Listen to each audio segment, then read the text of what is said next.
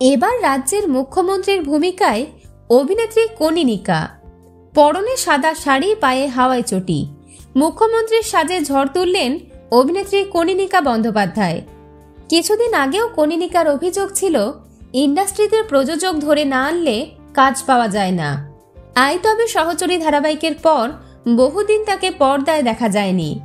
কিন্তু এবার এক ধামাকাদার রূপে ফিরতে চলেছেন অভিনেত্রী কনিনিকা পশ্চিমবঙ্গের মুখ্যমন্ত্রী মমতা বন্দ্যোপাধ্যায়ের চরিত্রে অভিনয় করছেন অভিনেত্রী কনিনিকা ইতিমধ্যে দিদির রূপে তার লুক সোশ্যাল মিডিয়ায় ভাইরাল হয়ে গিয়েছে।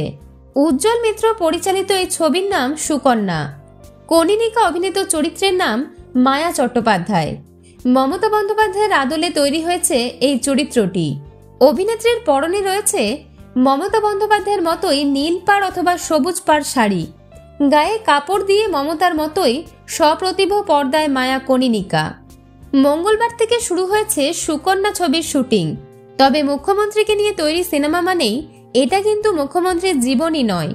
জানা গেছে এই সিনেমার বিষয়বস্তু হয়ে উঠবে মুখ্যমন্ত্রী মমতা বন্দ্যোপাধ্যায়ের কন্যাশ্রী প্রকল্প।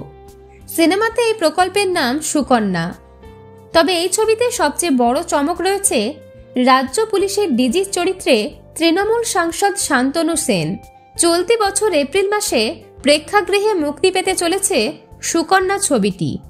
ভিডিওটি ভালো লাগলে লাইক করুন এবং চ্যানেলটি সাবস্ক্রাইব করে সঙ্গে থাকুন।